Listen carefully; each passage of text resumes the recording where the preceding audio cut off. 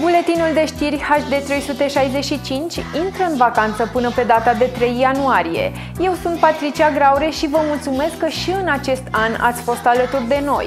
Datorită vouă, știrile noastre sunt lideri de audiență în județul Hunedoara. Totodată vă invit să urmăriți programele noastre speciale de sărbători. Vă doresc să aveți parte de un an minunat și fie ca toate dorințele să devină realitate.